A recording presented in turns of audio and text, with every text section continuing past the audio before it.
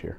That's awesome. And and, and uh, uh, what was it about uh, ERA Davis and, and, Linn that, that drew you to this brokerage? What are, what are some of the things that they, they, they've done for you or, or, or have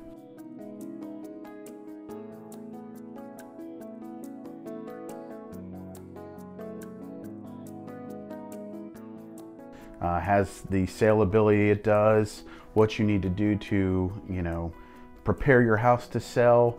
Uh, this is what a VA loan is. This is how, you know, how that works. This is what you need to do to get yourself uh, through that process. Um, it gives me a really good chance to continue to be uh, almost a teacher uh, for folks, um, and it gives me wanted. Very upfront, very professional guy, um, and as I know as a former non-commissioned officer, very good at hiding, you know, the past and for his family all the while being that, you know, professional, you know, professional interaction. You know, he was just, he was always, you know, very respectful. You know, I could tell that he was a great leader and it made me proud to interact with him.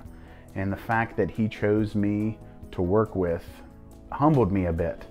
You know, when you have someone that is, you know, highly decorated soldier you know, that searches out for you and gives you the chance to help them and treats you with that military members that such a wide range of stories of heroism, uh, courage under fire, um, things that they've done to, you know, the finest folks here in Jacksonville because of the bases that we have. I'm really blessed to be able to continue to work with those folks and you know, I thank them for their service and uh, it's an honor. Yeah, that's great. Thank you for sharing. That was a really powerful story. Um, so, so Rich, the last thing that we're going to do is actually, let me ask one last question. It's kind of